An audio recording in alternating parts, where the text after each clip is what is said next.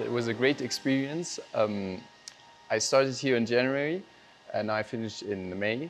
And uh, which was great was that it was my first time working in an international environment and um, to see how such a big organization works, um, but to also see how the different parts of the IICA all collaborate and how it's a really nice team.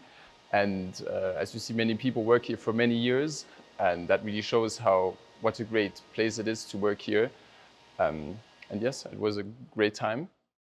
So what impacted me was the work with the children, which was amazing. Uh, every time the children came into the CIMAG, you could really see how their, light, their eyes lit up and uh, they were all so excited to learn about agriculture and also to see how far actually agriculture is, uh, to what extent technology is already involved in agriculture and to show this to the children and that they also kind of get this idea that agriculture and technology, that agriculture is cool, that, you know, it's far and that Costa Rica is also a country that is a forerunner, that is um, inspiring a lot of other countries um, to learn from Costa Rica. For example, we had the delegation of Guyana coming and uh, they were so inspired by the CIMAG that they also wanted to uh, create something similar to the CIMAG in Guyana.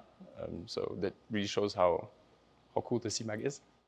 Uh, so for me, which was important that um, to get out of my comfort zone, um, you know, here you had to, I had to speak to big groups of people, you know, um, to uh, have this idea of being able to speak in front of large groups and um, to have this communication skills, you know.